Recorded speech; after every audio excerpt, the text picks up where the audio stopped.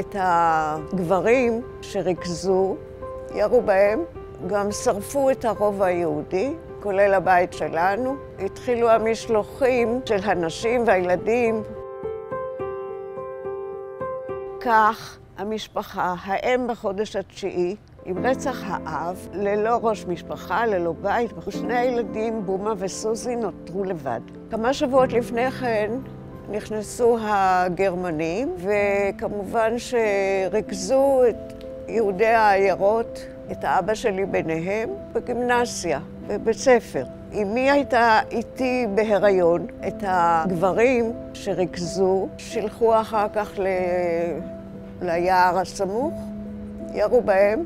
אמי נשארה עם אחותי בת ה-15 וחצי, אחי בן ה-12 וחצי, ואני בבטנה. אה, כעבור כמה שבועות גם שרפו את הרובע היהודי, כולל הבית שלנו, והתחילו המשלוחים של הנשים והילדים וגם אותם הגברים שלא הוציאו להורג, היהודים, שיכנו את מי שהגיע לשם בבתים חריבים, בבוץ, גשם, קר וכולי. באותו לילה התחילו הצירים של אימא שלי, ואכן פונינו לאיזה כפר, ושם נולדתי. אחרי לידה האם המותשת, המבועטת והמיואשת, ביקשה להשאיר את התינוקת בבית משפחת האיכרים. מה אעשה שעל האם? מאיפה האכיל את הילדה ברעב הזה? מי ידאג לנו? הילדים בומה וסוזי החליטו שלא משאירים את לאה התינוקת בשום פנים ואופן. לא ניפרד, אמרו הילדים, מה שיהיה איתנו יהיה איתה, היא בשר מבשרנו. החזירו אותנו לגדות הדניאסטר ועברנו בשלום, מה שלא קרה לכולם, חלק נפלו, נרצחו, בקיצור גירוש. הגענו ו... שם היינו באיזשהו בית כזה. בקיצור, היינו שם איזה שנתיים וחצי. אחי הסתכן ויצא מעבר לגדר וביקש מהשומרים שם לצחצח את נעליהם, והוא שר להם. הוא קיבל את שאריות המזון, וככה איכשהו שרדנו ארבעתנו, אימא ואחותי ואחי ואני. במאי 44' האזור הזה של המחנה שוחרר על ידי הסובייטים, ואנחנו יצאנו בחזרה לעיר. אותה מצאנו הרוסה, וכמעט אף אחד לא חזר לשם, כי לא היה גם, גם טעם וגם רבים נספו שם במחנה במוגילב.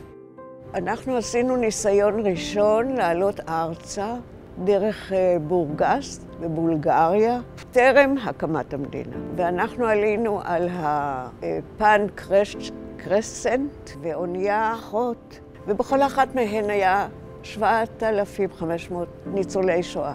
והבריטים ידעו שעומדים להגיע לכאן 15,000 אה, פליטים, והפנו אותנו לקפריסין. כשעליתי ארצה, התחלתי כבר בזיכרון יעקב בבית ספר, ואני השכחתי, גם אם ידעתי איזושהי שפה, כמו רומנית או משהו, השכחתי מעצמי את השפה צ'יק צ'אק כבר בקפריסין, כי לא, לא רציתי לדבר שפה זרה חוץ מעברית. הלכתי לצבא שנה אחת. בחופש הגדול לפני הצבא פגשתי את אדון הלוי, שיושב פה מאחוריכם. הוא דור אה, חמישי בארץ, אני רק עשר שנים בערך בישראל, ונשארנו משפחה שלא זורקת אוכל, ומאוד אה, מאוד צנועה, אבל מאוד מאוחדת. ניצולת שואה מגיעה לפה, לאנגר, יושב איתנו במשך שעה ומדברת איתנו, ואנחנו מודים לך על הזכות שבאת, אה, וזהו. תודה רבה לכולכם. כפי שאתם מבינים, כולם היו בניי, יש לי נכדים יותר גדולים מכם. לאה לוי היקרה, ההפלגה הזו מוקדשת לך. לוחמי ולוחמות אחי עצמאות מצדיעים לך.